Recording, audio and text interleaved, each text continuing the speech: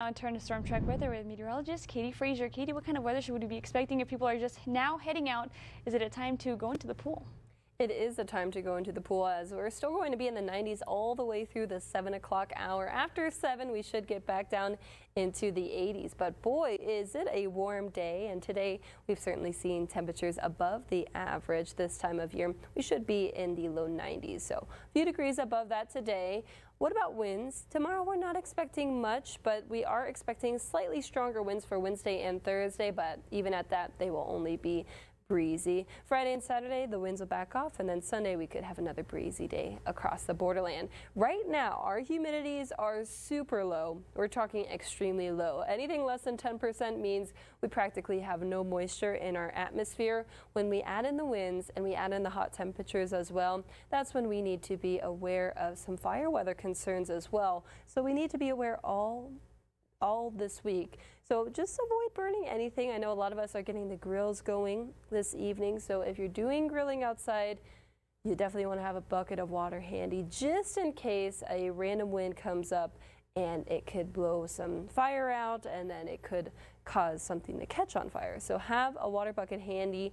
Of course, keep your vehicles off of grass. If you're towing a trailer, make sure the chains aren't hanging and hitting the ground as well because that could spark as well. Now, for your forecast highs tomorrow, look at how warm we're going to be across Doña Ana County. 95 for Anthony. Same thing down in Sunland Park. 93 up in Mesilla, Mesilla and 93 in White Sands as well. For El Paso County, it's going to be warm across the entire borderland.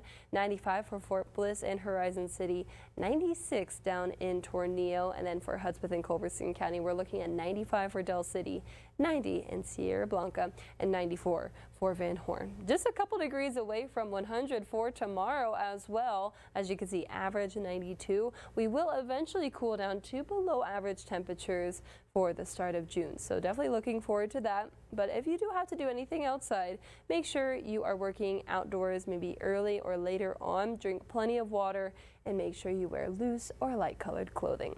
70 forecast sponsored by Mattress Room looks like this. Temperatures in the 90s for the next couple days. We'll cool down briefly for Thursday. We're also going to introduce a small chance of rain. Now, I don't think many of us will see any rain this week, but we do or we will be introducing moisture back into the borderlands. So Thursday, Saturday, Sunday, and Monday, you have a very small chance. All right.